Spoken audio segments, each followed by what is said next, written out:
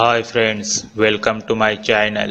If you like my videos, then share comment on videos. Do subscribe my channel and press the bell icon for a new video notification. When a green fly insect enters in your house, what does it mean? This is a good omen for you and it indicates perseverance, growth, freshness, abundance, and transformation. But some believe it's a bad sign.